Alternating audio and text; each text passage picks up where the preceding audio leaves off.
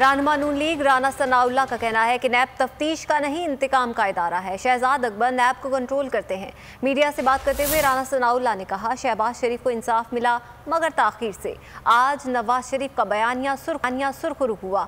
उन्होंने कहा कि सिलेक्टेड टोले ने आवाम की ज़िंदगी अजीरन कर दी। है और इसको सिर्फ़ इस वक्त शहजाद अकबर साहब कंट्रोल कर रहे हैं। वज़ीर आज़म इमरान खान न्याजी जो है वो कंट्रोल कर रहा है। ये उनके इंतकाम को आगे बढ़ाने के लिए एक अदारा है। ये कोई तफ्तीशी अदारा नहीं है।